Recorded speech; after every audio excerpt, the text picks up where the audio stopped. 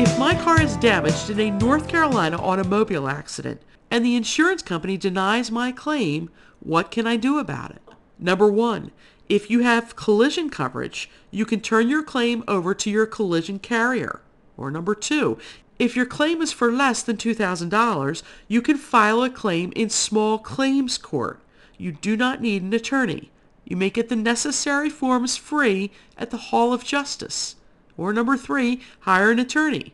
Although we do not accept cases involving only property damage, you may wish to call the North Carolina Bar Referral Service at 800 662 7660.